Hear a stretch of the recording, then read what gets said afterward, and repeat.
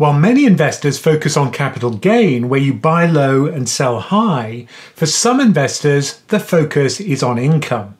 So in this video, we look at the reasons for that, both good and bad, and I'll show you where we can find the best income from index funds right now. This video is sponsored by Trading 212, a UK zero commission investment platform. Let's begin with why you choose income paying funds. Now, if you're in the accumulation phase of your investment journey, you're still saving for a future retirement or perhaps a big expenditure, then an accumulation fund usually makes more sense. These are funds that don't pay out an income into your brokerage account. Instead, they reinvest any income generated by their investments back into the fund. They do that more cheaply and more efficiently than we could do it ourselves. However, if you're in retirement, then you need an income. So an income fund makes more sense. So the way these work is that they pay out regular payments into your brokerage account, which you can then withdraw into your bank account. You don't have to actually sell anything in order to get that cash out of your investments. Whereas if you have an accumulation fund, then the money's automatically reinvested back into the fund. Now, you could still, of course, withdraw money from that accumulation fund simply by selling some of the fund. Now, there isn't a huge penalty that goes with that unless you're holding the fund outside a tax sheltered account. In the UK, that would be an ISA or a SIPP, In the US, a Roth IRA or perhaps a 401k account. And that's because if you sell something and its price has gone up since you bought it, you'll be liable for capital gains tax. So there is a tax justification for holding income funds.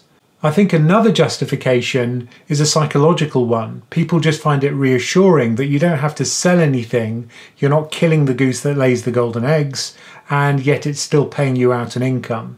You're still benefiting from that investment. I think that's actually a bad reason to have an income fund because what really matters is total return. In the UK, for example, there are many funds which have paid out a high dividend but they've sacrificed capital gain in order to generate that. And consequently, your income would have fallen in real terms. But for the funds we'll be talking about today, we'll be focusing on the income that they generate. So I'm assuming here that you're someone who's in retirement and needs the income. Now, different funds will have different prices. So, what really matters is what proportion of the income is generated for a given capital investment. And the way we measure that is with something called dividend yield. The way that's usually measured is to look at how much income your investments generated over the past 12 months and then divide that by the price of the fund today. Another way to think of that is you divide what you want, income, by what you have to pay for it, the price today. Now, that is quite volatile because of the denominator. The price will be varying day to day. The income doesn't usually vary as much. But if we are comparing different investments, this is what we compare dividend yield expressed as a percentage, and that's what we'll be using throughout this video. Now, for people who've got our premium membership on pensioncraft.com, we offer this tracker which allows you to drill down into various funds to see which ones offer the best dividend yield. Here it's broken down by sector, so these are various ETFs in the UK, and you can see the size of each fund according to the area of its block. The shading tells you what dividend yield that fund generates. So red is relatively low income and green is relatively high. So this is what the tool looks like on our website and you can drill into any of these categories. So for example, if we choose US ETFs, you can see that a lot of the income comes from the high yield category. So if we drill into high yield bonds, Notice there's a sea of green here. This Invesco Senior Loan ETF, for example, generates a yield of 8.8%. This high yield bond ETF, SPHY, generates 7.8%, and so on. It's also the case that for the UK, high yield bonds are a reliable source of high income, although we'll see more about that in a moment. So, what we're going to do now is to go through various categories of income generating fund each one has its own risks that go with that income, and it's always good to balance the return you get with the risk you have to take to generate the return. And we'll begin with high dividend yield stock funds. Now, the UK, as I mentioned earlier, is usually a fairly high generator of dividends. Historically, it's been a generous dividend payer. But at the moment, if you look at the FTSE 100, for example, the dividend yield is below 4%. So not so generous relative to other sources of income. If we break down some of the sterling denominated funds, which you can see here beside me, notice that often you have to choose a sector, you have to concentrate in that sector to generate a high income. The highest yield on this table, for example, is this Invesco Morningstar US Energy Infrastructure MLP Fund. MLP stands for Master Limited Partnership. And by focusing on infrastructure for US energy, that's a sector that tends to pay a high income.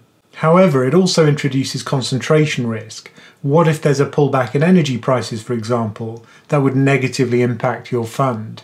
And it's often the case if you drill below the surface that one of these income generating funds, such as the second one on the list, this Global Select Dividend 100 Swap Fund, will often have some kind of concentration risk within a sector or a country. So it's always worth digging into the funds to work out what those risks are and to make sure that you're happy with them. Notice also, and this is a theme that will go throughout this video, that the fees on these funds is relatively high you can buy a global index tracker for less than 0.15% annual fees, whereas a lot of these funds come at more than 0.5% per year. So, other regions that tend to generate high dividends would be Brazil, for example, that has a lot of financials and energy companies, also emerging markets generally, and also Asia Pacific, which, if you look for developed markets, is dominated by Australia, and that's because Australia also has a lot of commodity companies and a lot of financials, which are high dividend payers. The UK Dividend Plus Fund, IUKD, is also there. That's got a yield of 5.5%. Or you could go for something like a preferred shares fund, which buys a specific part of the capital structure that tends to pay out high dividends. Again, that's usually focused in one sector, which is financials. Today's video is sponsored by Trading212, a UK zero commission investment platform that I've been using for some time for my fund portfolio. And one of the features I've been using a lot is the Pie feature.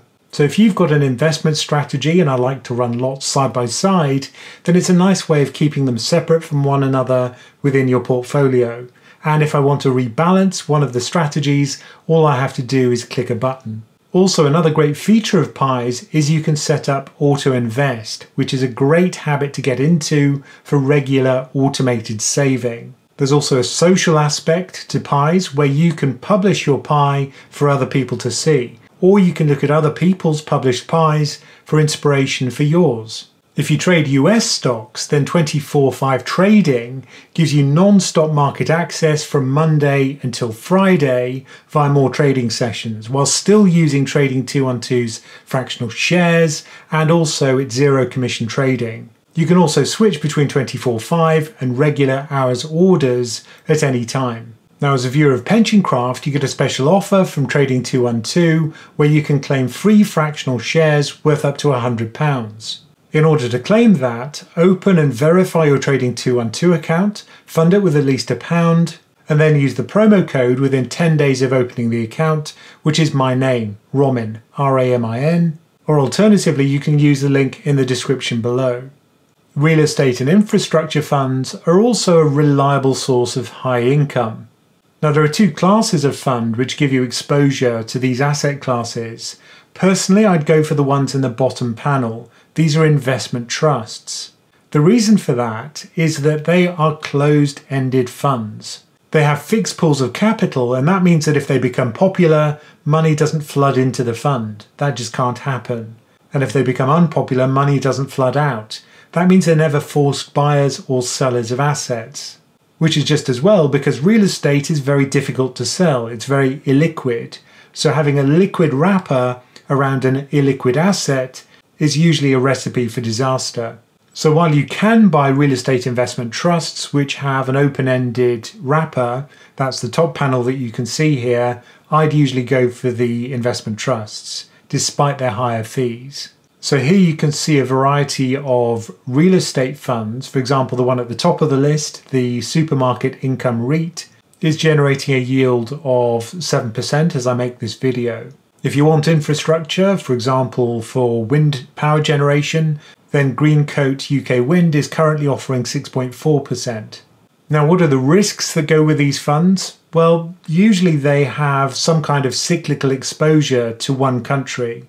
If it's energy generation, for example, you'll find a lot of those funds are based just in the UK, or the infrastructure is just UK based. So you do have that concentrated geographic exposure, also concentrated sectoral exposure. So just make sure that you understand the portfolio of assets which is owned by each of those trusts or funds and that you're happy with it. Our next category is high yield corporate bonds. High yield simply means that these are poor quality credits. They have slightly dodgy default risk.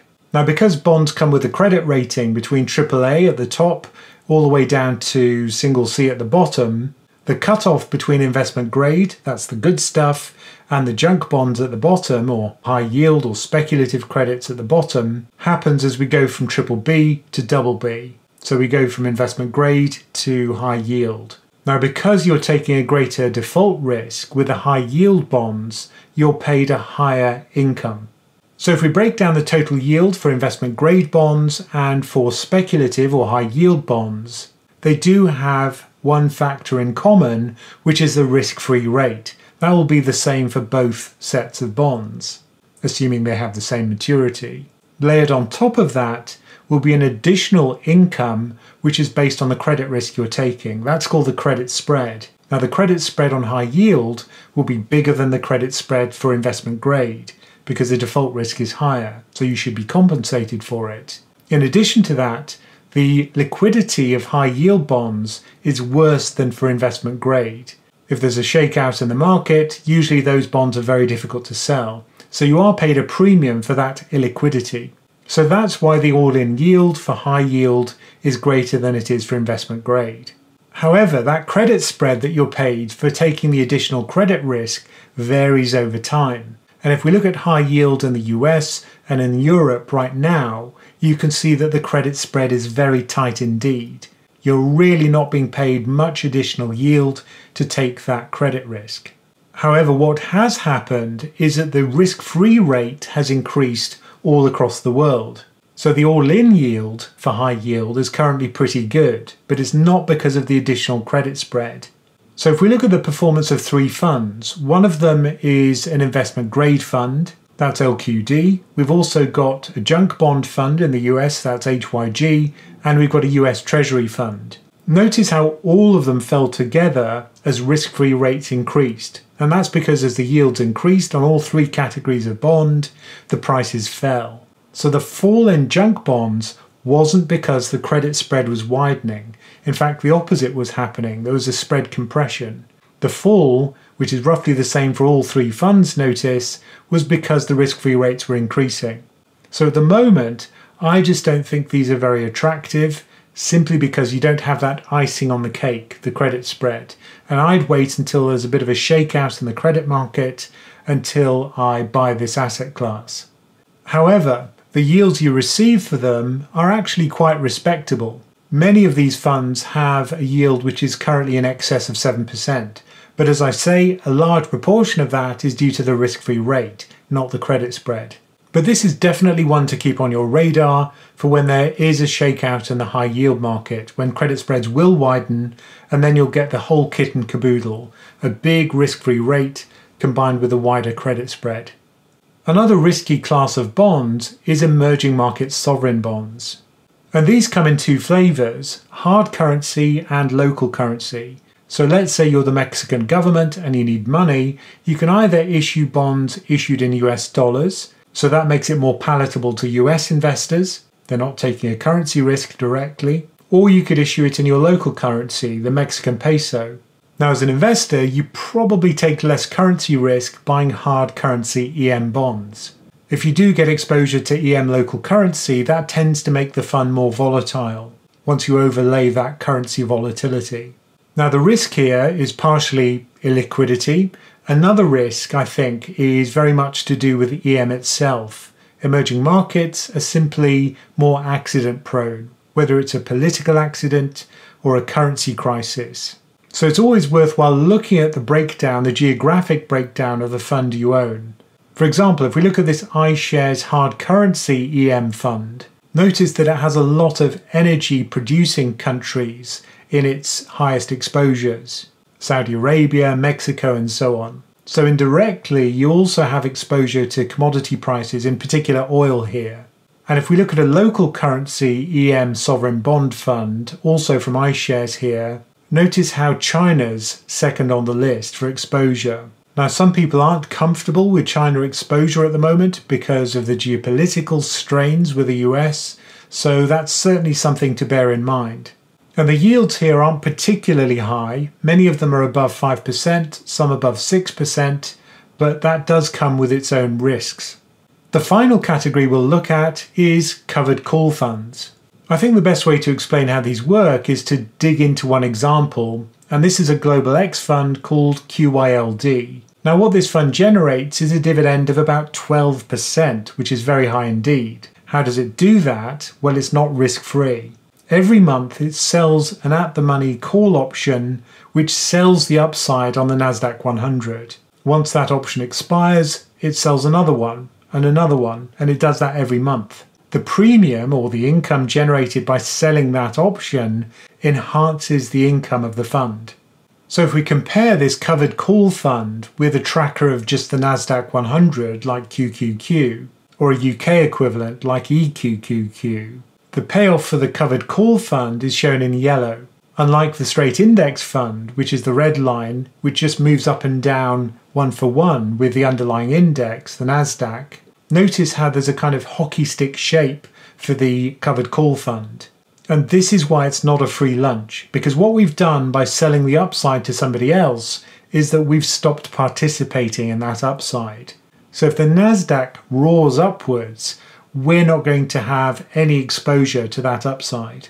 Furthermore, we've kept all of the downside. But the reason why we're willing to accept that fairly toxic combination of all the downside with the capped upside is that we've pushed the whole graph upwards. And that's because of the income which was generated by selling the option. Now, the income that the option selling generates is greater the more volatile the index. So the Nasdaq generates a higher income than say the S&P 500. And in fact for UK investors, Global X does have two funds which are available that give you exposure in covered call form to the S&P 500 and the Nasdaq. Now, the tickers for those two funds, which end in P, tell you it's denominated in pounds, in sterling. And we can do a quick back of the envelope calculation for the dividend yield from those two funds. So I did that for the dividend that's going to be paid in August. The ex dividend date for that was in July, so we know what the dividend will be. And what we're going to do is annualize it. So just multiply it by 12, assuming that the dividend will be roughly constant. So, for example, the NASDAQ covered call ETF is going to pay a dividend of 17 cents. And if we divide that by the price of the fund, which is $16, the yield, if we annualize it, is about 12%. Very high indeed. Compare that with the S&P 500 covered call fund, and there the dividend yield is only 8%. Still pretty good, but not as good as the Nasdaq because it's less volatile. Now, for these covered call funds, remember you should never buy anything you don't understand. So, if you're not comfortable with the derivative, don't buy it. And that brings us on to the problems with these income funds. If we look at the US market and break it down by sector, you can see that in order to generate a high dividend yield, there are only certain sectors which are generous.